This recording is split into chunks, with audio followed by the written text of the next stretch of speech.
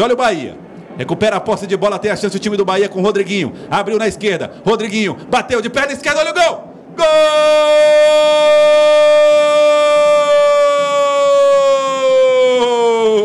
É do Bahia!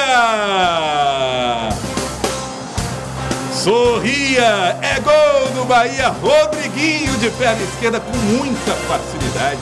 Entrou na área do Náutico, fez o gol, ampliou o placar, ampliou a vantagem, confirmou o favoritismo e não surpreendeu ninguém. Dois para o Bahia, zero para o Náutico, Eduardo. Uma jogada bem trabalhada. Né? No começo da, da, da, jogada houve um erro da, do time do Náutico.